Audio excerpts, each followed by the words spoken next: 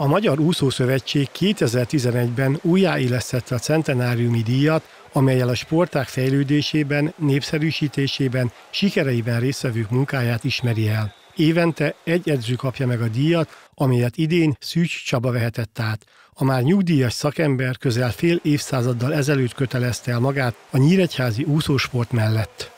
Én földrajz testnevelés szakos főiskolai hallgató voltam, és ott a második évfolyamon a Dallos Sándor, aki megindította ezt az egész Szabos megyei úszást, illetve főleg a Nyíregyházit, egy néhányunkat, akiről talán egy kicsit jobban úsztunk a hőskorba, mint az átlag, velünk gondolta, hogy foglalkozzunk gyerekekkel, oda hívott a medence partjára, sokan voltunk, vagy 80-10, és lassan mindenki lekopott, és szinte egyedül maradtam abból a társaságban.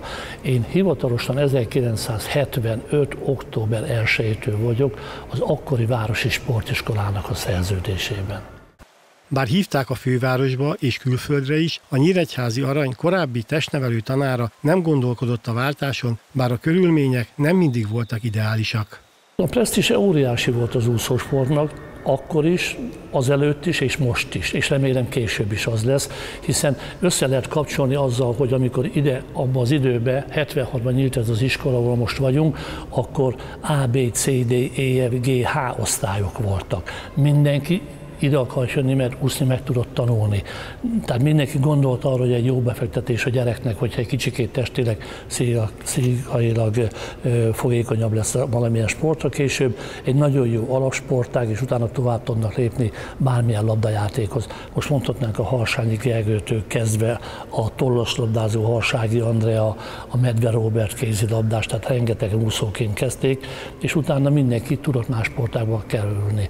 Tehát gyakorlatilag ahol a vízpartján lehetett gyerekeknek, ugye főleg uszadába táborokat, illetve edzéseket tartani, az mindig házak voltak. De az is igaz, hogy abban az időben még nem volt ennyi medence, mint mostanában, hiszen most már minden városnak szinte lassan van egy, egy kis 25 méteres, meg egy kis tanmedencéje is van mellette, akkoriban még csak a sóstó volt, meg ez a medence.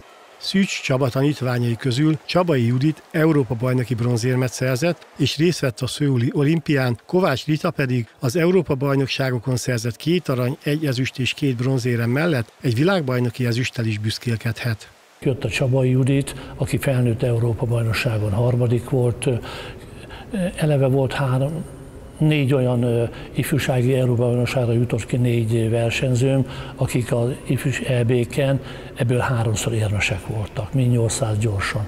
Akkor ott volt a Szokoldi, a Kovács Rita, Csabai Judit, később a, a Vejszkitti, a Barta Kristóf, a Kukucska Boldizsár, tehát azért nagyon-nagyon sokan, szinte felsorolhatatlan, felsorolhatatlan ez, hogy, hogy ennyi idő alatt így most visszaemlékezzek, úgyhogy elnézés azoktól, akik meg nem jutnak hirtelen nem eszembe.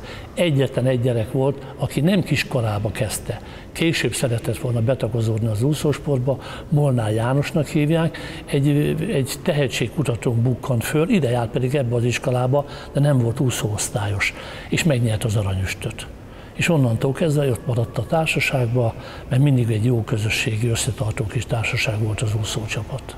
Mint a díjazott elmondta, versenyekre már nem jár, de a jegyzőkönyveket rendszeresen átnézi, így tisztában van az eredményekkel. Az idejét pedig főleg kerékpározással, fotózással és utazással tölti felesége társaságában.